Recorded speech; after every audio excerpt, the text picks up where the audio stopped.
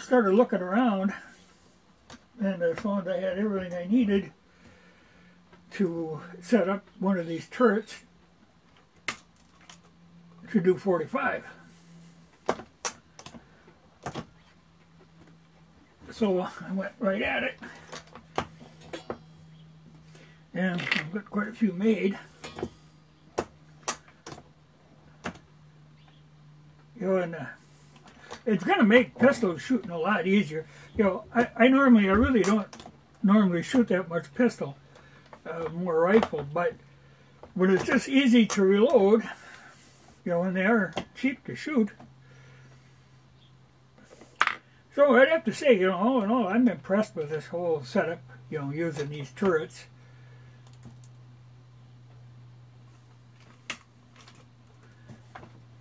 You know, it just does make it a lot less fiddly work. And I'm actually using the same powder measure. You know, I didn't have a second one of them, but, or I have a second one, but I didn't have a, another one. But I use the same powder setting for the 45 as what I do for the Tokarev, so I was able to just transfer it directly over to this. Which is interesting. You know, I hadn't realized it so, until I started looking at I actually was running the same load. But you know, it's interesting too because you know that Tokarev round is sort of small round compared to a 45. But like I say, same powder load. And when you look, you know, you compare a 45 bullet to the bullet I use in the Tokarev, you can see where they get their, their great velocity. You know, 45 is relatively slow, but that same load, shooting this light little bullet, they really travel. But at the same time, I have very little recoil. I, I really, I do like, you know, now the only one I don't have set up to do on a turret of the, the pistols that I normally shoot is a 9 millimeter. But you know, normally if I'm going to shoot, I actually like the Tokarev better. Uh, less recoil than the 9mm. You know, just actually, otherwise the guns look identical. I just do like the one that shoots a Tokarev round. Know, it's an impressive round.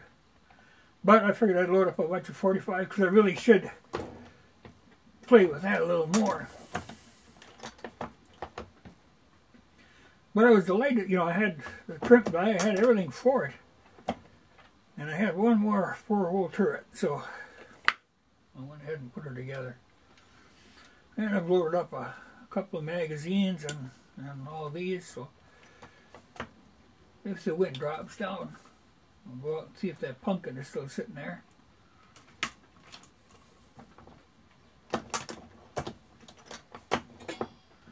But this does take a lot of the monkey work out of it. It's a little bit of work to set it up, but like I say, once I have the turret set up, very easy to load.